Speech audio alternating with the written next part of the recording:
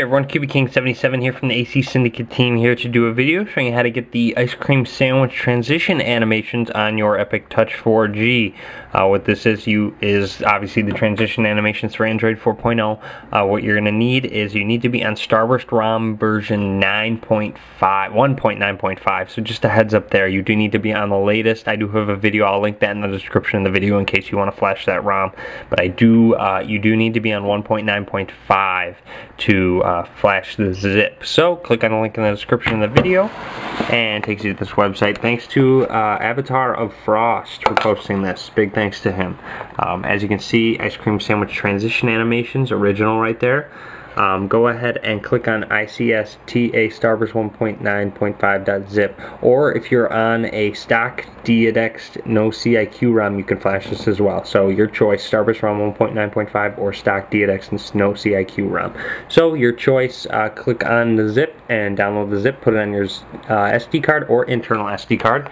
Once it's on your phone you're actually going to need to boot into Clockwork Mod Recovery. So go ahead and power off your phone or just hit the recovery button on Starburst ROM 1.9.5 hit recovery and it's going to go ahead and boot you into Clockwork Mod. Alright, now I'm in Clockwork Mod Recovery. I'm going to go ahead and recommend you wipe your cache and Dalvik cache just before you wipe this, just to be safe. So wipe cache partition, select it, hit yes, wipe cache. It's going to go ahead and wipe cache for you, and then now that that's done, go to the advanced menu and hit wipe Dalvik cache, and hit yes, wipe Dalvik cache. So just make sure both of those are wiped. Hit go back, install zip from SD card, choose zip from SD card or internal SD card, wherever you put it, and then find that ICSTA Starburst uh, zip file. So find it, select it, and hit yes. Install ICSTA Starburst. It's not shouldn't take too long at all. It's not a big file. Install from SD card complete. Hit go back and just reboot system now. It's going to go ahead and reboot your phone and it's going to take a little while just because Dalvik cache was wiped. So be a little patient with the boot up once you flash this uh, transition animations. Alright, now my phone has booted up, I should have the Ice Cream Sandwich Android 4.0 transition animations on my Epic 4G. So to test this out, I'm going to actually just go into the messaging app real quick. And as you can see, I do. That's very cool. As you can see, opening and closing the messaging app is a nice transition animation.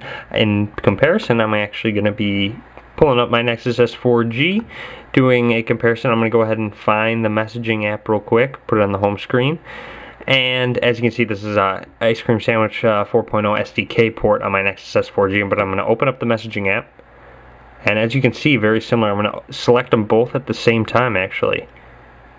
So it's a very similar, uh, opening and closing is actually the same.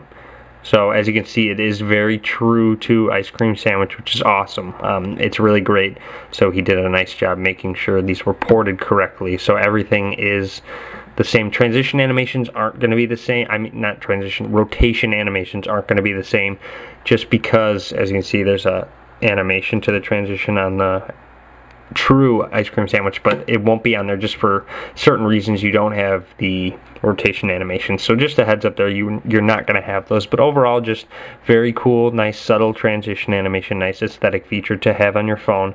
But otherwise, it's very nice. If you do have any questions, run into any problems, feel free to ask. If you don't like them, you can always go back to your previous transition animations. There's a zip file in the second post in that link that I have in the video.